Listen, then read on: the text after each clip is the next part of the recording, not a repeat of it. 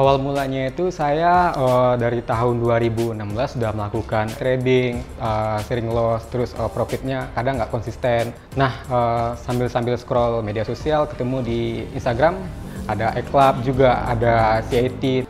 Nah, tertarik sama CIT program, makanya daftar di sana.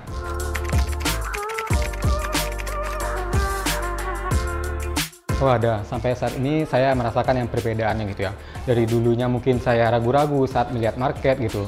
Uh, kalaupun saya udah lihat market, terus saya mau entry-nya uh, bingung mau ngapain gitu kan. Apakah kita ambil posisi yang sesuai dengan analisa kita atau dengan feeling kita. Pastinya kalau kita di CIT itu kita mengajarkan memang pure analisa gitu.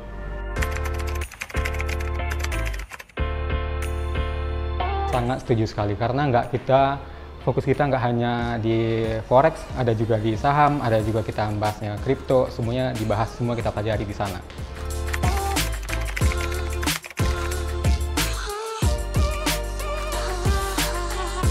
Kalau saya pribadi memang saya lebih memilih di CIT dulu uh, dan saya juga sudah membuktikan sampai saat sekarang ini.